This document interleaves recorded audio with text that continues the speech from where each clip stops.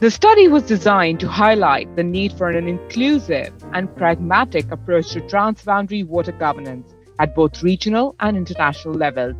The chapters of this study each focus on three of the most water stressed and conflict prone regions in the world Central Asia, Himalayan region, and the Middle East and North Africa, provides examples of how traditional approaches and political complexities between countries have all contributed to weaker governance and management of transboundary water resources in these regions.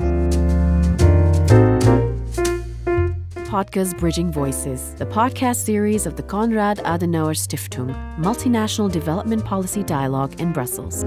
With PodKAS, we connect international experts and voices from the global south with policy and decision makers in Europe.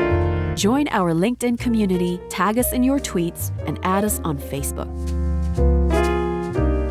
You can listen to the full episodes of PodKAS on SoundCloud, Spotify, and YouTube.